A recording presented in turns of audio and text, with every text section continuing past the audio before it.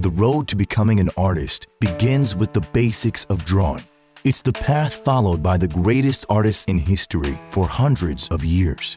The accumulated knowledge and craft of drawing and painting perfected by artistic geniuses and passed on generation after generation was largely discarded in the 20th century in favor of abstract and conceptual art.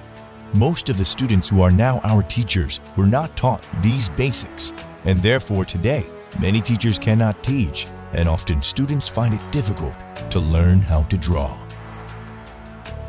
Rediscovering the fundamentals of realist art and making them available to everyone is the basics of drawing, the ultimate guide for beginners by Leonardo Pereznieto, international award-winning artist and creator of two YouTube art channels with over a million subscribers each. Here is the road to becoming an artist. Knowing your drawing materials. Learn how to sharpen your pencil.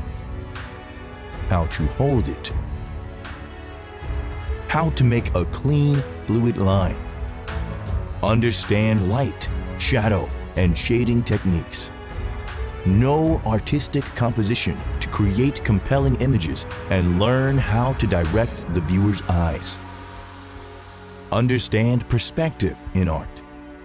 Acquire the skill to render different textures. Learn the principles for drawing people. Develop your own style and learn how to overcome artistic blocks.